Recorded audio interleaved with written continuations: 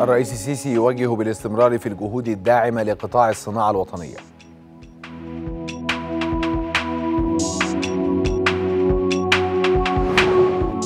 مصر تدين إعلان إسرائيل خطة لإنشاء 8300 وحدة استيطانية بمدينة القدس. البيت الأبيض يقول إن ترامب مستمر بالطعن في نتائج الانتخابات الرئاسية.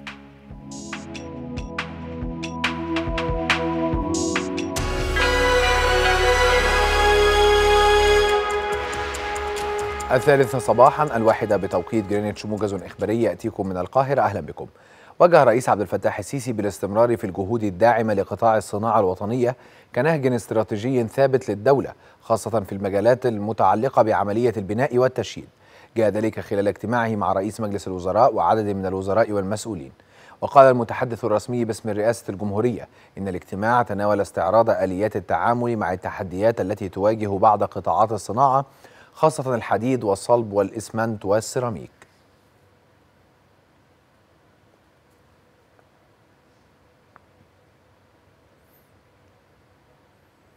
أعرب المتحدث باسم وزارة الخارجية السفير أحمد حافظ عن إدانة مصر لإعلان السلطات الإسرائيلية خطة لإنشاء نحو 8300 وحدة استيطانية جديدة بمدينة القدس وذلك باعتبار باعتباره خرقا جديدا لمقررات الشرعية الدولية وقرارات مجلس الأمن ذات الصلة.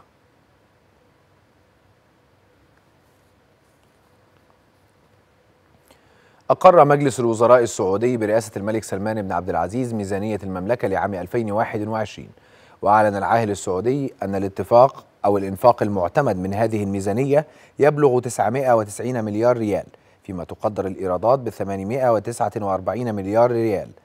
وذلك بعجز يقدر ب 141 مليار ريال ما يمثل 4.9% من الناتج المحلي الإجمالي.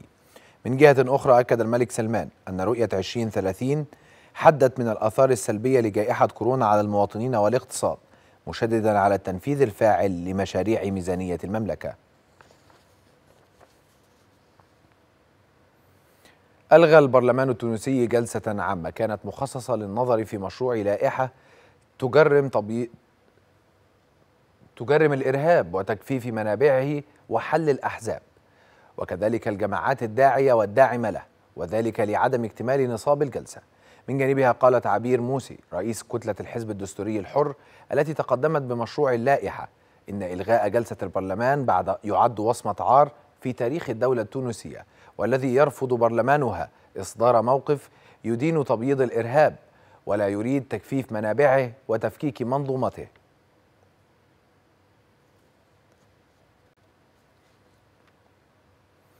قال مسؤول كبير بالإدارة الأمريكية أن مستشار البيت الأبيض جاريد كوشنر سيزور المغرب وإسرائيل الأسبوع المقبل على رأس وفد أمريكي لإجراء محادثات بشأن اتفاق تطبيع العلاقات بين البلدين. ونقلت وكالة رويترز الأنباء عن المسؤول الأمريكي قوله إن الوفد الأمريكي سينضم إلى وفد إسرائيلي وسينتقلان أول رحلة طيران تجارية مباشرة بين تل أبيب إلى الرباط وذلك كعلامة على حدوث تقدم بعد الاتفاق بين إسرائيل والمغرب والذي ساعد كوشنر في التوسط فيه. قالت المتحدثة باسم البيت الأبيض كيلي ماكاني إن الرئيس دونالد ترامب مستمر في الطعن على نتائج الانتخابات الرئاسية. جاء ذلك ردا على سؤال عن رد فعل ترامب على تأكيد المجمع الانتخابي أن الديمقراطي جو بايدن هو الرئيس المنتخب للولايات المتحدة.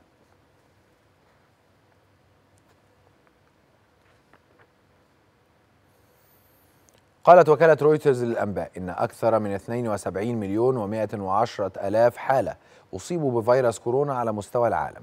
في حين وصل إجمالي الوفيات إلى أكثر من مليون و623 ألف حالة. وتصدرت الولايات المتحدة القائمة تلتها الهند ثم البرازيل في المرتبة الثالثة فيما حلت روسيا في المرتبة الرابعة.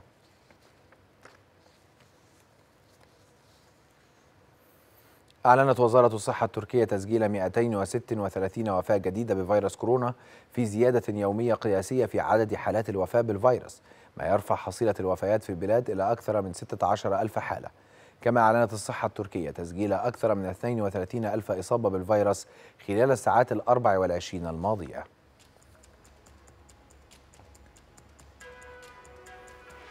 نهاية الموجز. وفي النهاية نحيط علم السادة المشاهدين بأن تردد إكسترا نيوز HD هو 12303 معدل الترميز 27500 معامل الاستقطاب أفقي. شكرا لكم على حسن المتابعة.